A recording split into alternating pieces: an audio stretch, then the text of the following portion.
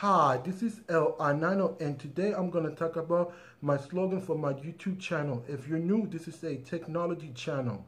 The slogan is not my actual name for the channel, it's just a slogan that I came up with, and the slogan consists of different parts. I'm going to describe it.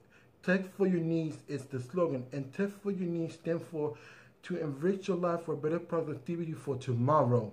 Don't let technology run your life, you run technology. Let's break it down um, for better productivity tomorrow is to better yourself within technology for a better to be a better person and to be more productive. Don't let technology run your life.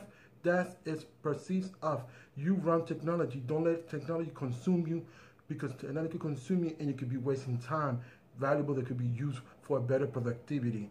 So that is, that is what I, my slogan consists of, and I just wanted to clarify that for folks. Well, with that said, um, your feedback your feedback is welcome.